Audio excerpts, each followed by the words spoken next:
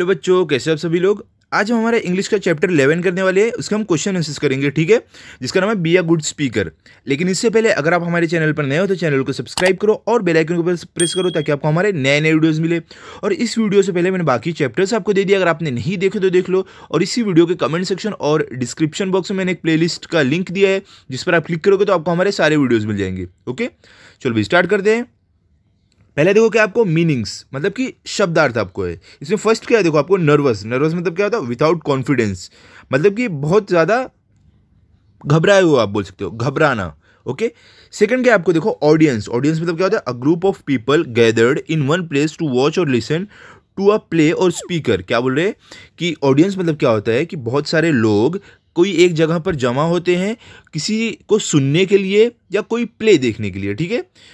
Okay अब देखो third क्या? मम्बल मम्बल मम्बल मतलब क्या होता है? To speak unclearly and quietly so that the words are difficult to understand मतलब क्या बोल रहे हैं कि एकदम धीरे धीरे बोलना जिससे कि कोई आ, सामने वाले की बात समझ नहीं पाए ठीक है?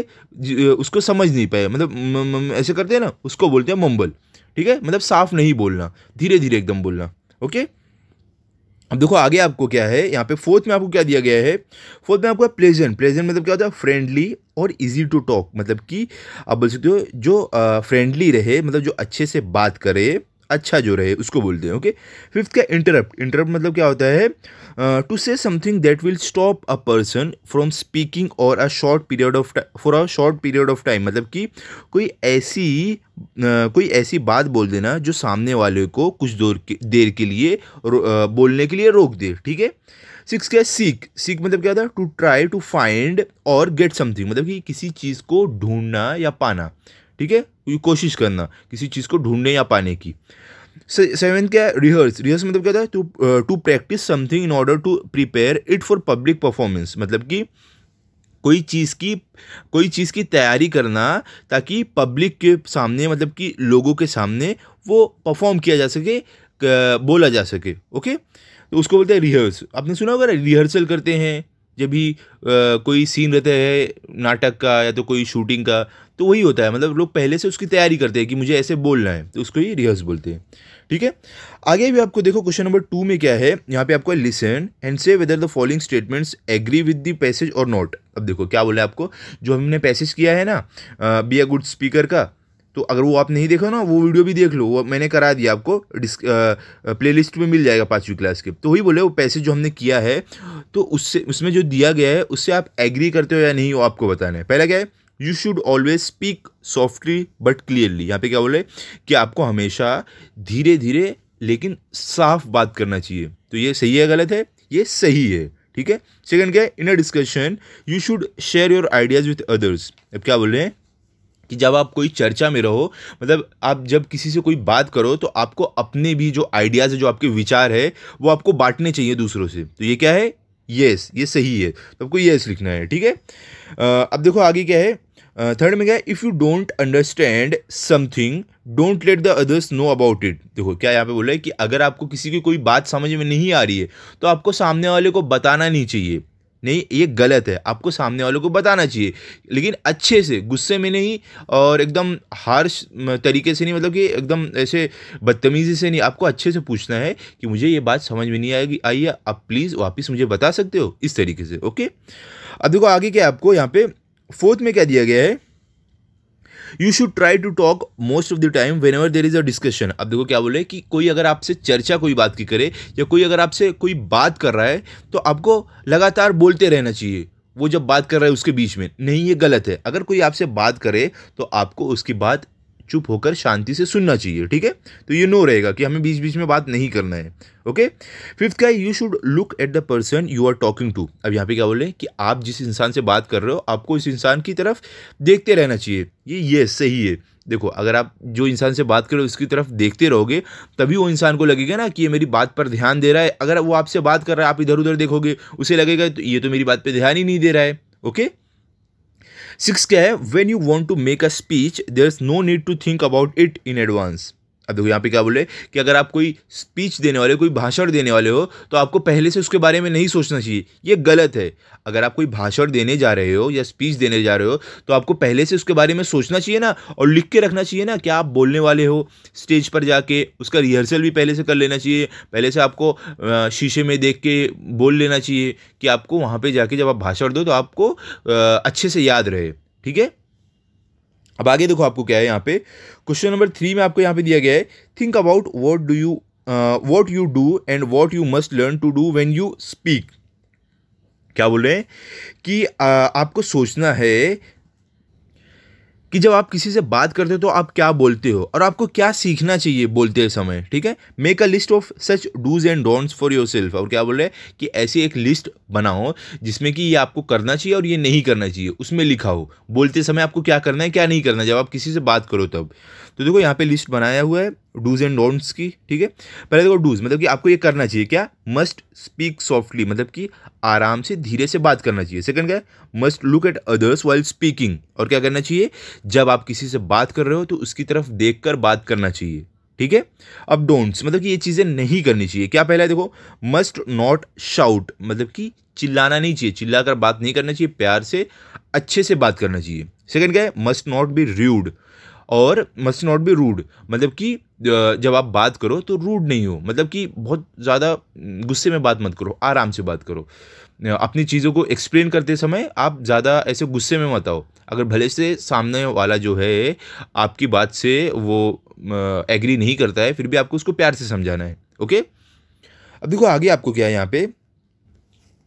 क्वेश्चन फोर में देखो आपको क्या दिया गया है। This the polite expression we use when you speak अब क्या बोल रहे हैं कि जब हम किसी से बात करते हैं तो हम कौन से पोलाइट एक्सप्रेशन मतलब कि जो हम एकदम अच्छे से नर्म नर्म मतलब एकदम प्यार से जो बात करते हैं तो एक्सप्रेशन जो है ना, वो आपको लिखना है। तो देखो क्या है, हम क्या क्या यूज़ करते हैं, बात करते टाइम देखो पहला क्या पार्डन मतलब नहीं बोलते कि माफ़ कर दो, मुझे ये समझ में नहीं आया पार्डन में बोलते हैं पार्डन में मतलब कि माफ़ कर दो, मुझे समझ में नहीं वापस होता प्लीज़ या तो हम बोलते हैं कि प्लीज़ मतलब कृपया जिसको हिंदी में बोलते हो कि प्लीज़ आप मेरा ये काम कर सकते हो, या प्लीज़ आप मेरे लिए बुक ला सकते हो। ऐसे बोलते हैं ना फिर सॉरी अगर हमसे कोई गलती हो जाती है तो हम सॉरी बोलते हैं कि माफ़ कर दो थैंक यू अगर कोई हमारी मदद करता है, कोई हमारी बातें अच्छे से अच्छे से सुनता है तो हम थैंक यू बोलते हैं, शुक्रिया बोलते हैं। एक्सक्यूज़ मी और मतलब अगर हमें किसी से कुछ पूछना हो, या किसी को साइड होने बोलना हो तो हम क्या एक्सक्यूज़ मी बोलते हैं? ठीक है? एक्सेट्रा मतलब ये सारी चीज़ें हैं जब हम बात करते समय इन सारे शब्दों का इस्तेमाल करते हैं, सारे एक्सप्रेशंस का इस्तेमाल करते हैं ओके अब आगे देखो आपको क्या है। फिफ्थ में क्या है? क्वेश्चन नंबर फिफ्थ में यहाँ पे आपको दिया गया है। Look at the speaker in each picture अब क्या बोले कि जो लोग बातें कर रहे हैं ना, हर एक फ़ोटो में, हर एक तस्वीर में, उनको आप देखो। Say whether each one is a good speaker give reason for your answer और आपको बताना है कि सारे पिक्चर में जो लोग बात कर रहे हैं, ये सब में, पाँचों में, वो लोग क्या अच्छे बात करने वाले, एक अच्छे स्पीकर है? अगर हाँ तो उसकी वजह बताओ। ठीक है? अगर हाँ या ना, जो भी हो, उसकी वजह बताओ। तो देखो पहले अगर हम तस्वीर में देखेंगे यहाँ पे ये बच्ची क्या कर रही है देखो स्टेज पे खड़ी है और अपने हाथ में पेपर्स लेके कुछ पढ़ रही है। तो हम क्या लिखेंगे पिच, पिच, पिक्चर वन के बारे में क्या लिखेंगे? Bad speaker. क्यों? देखो ये अगर आप कहीं स्पीच देने जाओ भाषण देने जाओ तो आपको पहले से याद रहना चाहिए ऐसे नहीं पेपर लेके हाथ में बोलो। तो इसके लिए बैड स्पीकर है और इसकी वजह आप कैसे लिखोगे? There are too many papers on the table this can lead to confusion well speaking क्या बोल रहे हैं? टेबल पर बहुत सारे पेपर्स है। तो इसकी वजह से वो बच्ची को कन्फ्यूज़न हो सकता है कि मुझे क्या बोलना है, क्या नहीं। She is also reading her speech and not looking at the audience और वो बच्ची क्या कर रही है? वो अपनी जो, अपना जो भाषण है, उसको पेपर में से पढ़ रही है और जो वहाँ पे लोग, जो जनता मौजूद है, उनकी तरफ़ देखकर नहीं बोल रही है। She has not prepared well in advance और क्या बोल रहे? कि उसने पहले से तैयारी नहीं की है। क्योंकि अगर वो पहले से तैयारी की रहती तो उसको वो पेज उठाकर बोलना ही नहीं पड़ता। बिना पेज में देखे बोलना पड़ता। उसको पहले से याद रहता। तो ये क्या है? एक बैड स्पीकर है। ठीक है? अब देखो पिक्चर टू पिक्चर टू में आप देखोगे, यहाँ पे देखो, आप, यहाँ पे एक दादाजी हैं। देखो ये दादाजी कुछ बोल रहे हैं ज़ोर ज़ोर से बोल रहे हैं और ये देखो ये बेचारे ये सुन के बोर हो गए हैं और ये देखो ये भी आंटी सुन के बोर हो हो गई है। तो देखो दादाजी क्या हो गए बैड स्पीकर हो गए क्योंकि ये चिल्ला चिल्ला के बात कर रहे हैं और सामने वाला बोर हो रहा है, वो भी नहीं देख रहे हैं, सामने वाले के बारे में भी नहीं सोच रहे हैं। तो हम कैसे लिखेंगे दादाजी के बारे में?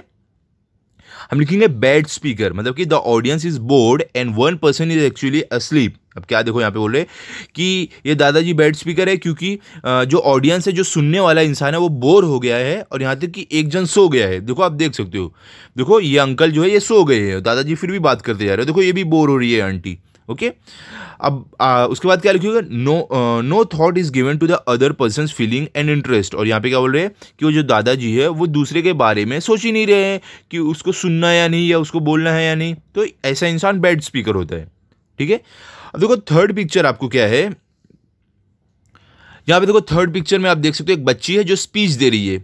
ठीक है? वो देखो एकदम ऑडियंस की तरफ़ से तरफ़ देखकर बोल रही है उसने खाली पेपर रखा, एकदम अरेंज करके कि अगर गलती से वो भूली तो अपने पेपर में देख ले। उसको पहले से याद है, इसके लिए देखो सामने देख वो बोल रही है और एकदम हंस के अच्छे से बोल रही है। तो आप कैसे लिखोगे यहाँ पे? अब थर्ड वाले में लिखोगे पिक्चर थ्री गुड स्पीकर मतलब कि एक अच्छी स्पीकर है बच्ची, कैसे? She looks confident and is looking at the audience while speaking मतलब कि जो बच्ची है, वो एकदम कॉन्फिडेंट लग रही है मतलब उसको खुद पे भरोसा है और वो जनता को मतलब जो ऑडियंस है वहाँ पे, उनकी तरफ़ देख कर बोल रही है। Though her written speech is with her she is not referring to it क्या बोले कि भले से जो उसका भाषण लिखा हुआ है ना, वो उसके पास है, टेबल पर रखा हुआ है, लेकिन वो देख नहीं रही है। आप देखो यहाँ पे देख सकते हो। भले से बच्ची के पास वो पेपर है जिसमें उसने अपनी स्पीच लिखी हुई है, लेकिन उसकी तरफ़ देख नहीं रही है। क्योंकि उसने किस लिए रखा है? गलती से अगर भूल गई, तब वो देखेगी। जबकि बच्ची को पहले से याद है, ठीक है? और दो आखिरी में क्या आपको? She has prepare well in advance और क्या बोल बोले वो बच्ची ने पहले से ही तैयारी करके आई है, ओके? अब देखो पिक्चर फोर में हम देखेंगे यहाँ पे क्या है। देखो, ये देखो। ये जो देखो, जो बच्चा इतनी धीरे धीरे से बोल रहा है कि सामने वाले को अपने कान ऐसे लगा के सुनने पड़ रहे हैं। तो ये क्या हो गया? ये भी बैड स्पीकर हो गया। Okay okay? तो हम कैसे लिखेंगे? ये बच्चे के बारे में बच्चे के बारे में too soft the audience can not hear him मतलब कि ये जो बच्चा है, बहुत ही धीरे बोल रहा है कि यहाँ तक कि जो सुनने वाला है, उसको सुन ही नहीं पा रहा है। ठीक है? अब आखिरी देखो, आखिरी में क्या है हमें? ये देखो, यहाँ पे देखो, ये बात कर रही है ये आंटी, ये बच्ची से। और देखो, ये बच्ची भी एकदम खुश होकर सुन रही है, आँख में आँख देखो, डालकर अच्छे से बातें सुन रही है तो ये हो गए गुड स्पीकर तो आप कैसे यहाँ पे लिख दोगे? यहाँ पे आप लिखोगे गुड स्पीकर कैसे? He is looking at the listener when she is talking the expression on both the faces is present मतलब कि ये गुड स्पीकर इसके लिए है क्योंकि वो अपने लिसनर की तरफ़ देख रही देख कर बोल रही है और उसका जो एक्सप्रेशन है दोनों जन के चेहरे पर वो खुशी वाला है। मतलब कि दोनों जन खुश है, एक दूसरे से बात करते हुए। ओके ठीक है बच्चों? तो यहाँ पे हमारा ये चैप्टर कंप्लीट हो गया है। अभी अगले वीडियो में मैं आपको दूँगा ट्वेल्थ चैप्टर देखो, इसके क्वेश्चन भी मैंने लिख के रखे हैं तो आप चैनल को सब्सक्राइब कर दो, अगले वीडियो में ये आपको मिल जाएगा। और जो चैप्टर मैंने अभी आपको कराया है, आप इसको अच्छे से पढ़ लो और लर्न कर लो, ताकि अगर आपका टेस्ट हो तो आपके फुल मार्क्स आए मिलते हैं अभी अगले वीडियो में। अगर आपको ये वीडियो अच्छा लगा तो आप इस वीडियो को लाइक करो चैनल को सब्सक्राइब करो और इस वीडियो को अपने दोस्तों के साथ शेयर करो। Thank you